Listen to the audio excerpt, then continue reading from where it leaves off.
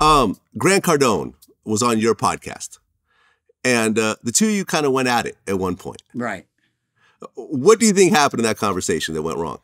Since our last interview, I, I did a little bit of research, and I found that you did an interview with Jordan Belfort, Yeah, yeah. the Wolf, the Wolf of Wall Street. And this in- turned into the equivalent of like a rap beef with finance guys afterwards. Is that is that a fair assessment of what happened? Well, he's not a finance guy. Well, I mean, a financial He- guy. He's not a financial guy. He's a fucking used to be. criminal. He's a convicted criminal that didn't pay back the people he ripped off. And he's a fucking rat. On top of being a criminal, he's a rat.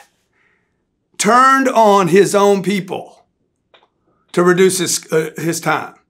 So he's a criminal, ripped off a bunch of people, admits that he ripped off a bunch of people, never paid the people back, and ratted, and ratted out his boys.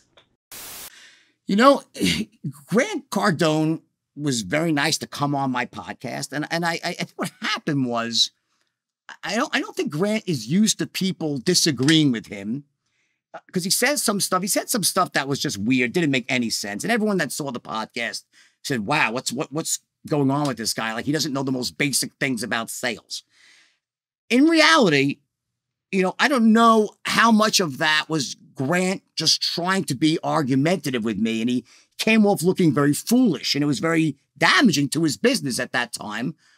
But I, I don't, I have nothing against Grant I think he's probably a very nice guy and, you know, he's successful and I wish him well.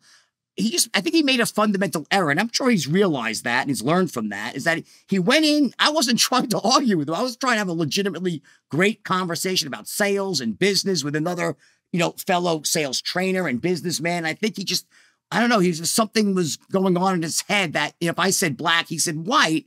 The problem was is I was just speaking truth and asking very simple questions, and it and he got very frustrated and flustered, and then he challenged me to a cage match, which was kind of ridiculous. So you know, it just it flew off the handles. It was very bad for him, very good for me. But I don't I don't think that describes who Grant Cardone is as a person. I think he's you know he's a, he's probably a good guy, and we saw each other recently. We hugged each other. It's like there's no animosity of any of any sort. Yeah, I mean, I've interviewed him a few times. Uh, I definitely learned a lot on the real estate side because I've never really been a real estate guy. Uh, but yeah, I mean, I saw the interview and it seemed like the two of you just were not really clicking with each other. Well, I mean, you could, to be honest with you, just he, he was being, you know, he came off very badly on that. You know, it was not good for him because he was just, you know, and he was just not saying things that made sense from a sales context. You know, whether or not he really feels that way and just was, was just trying to be argumentative, I don't really know.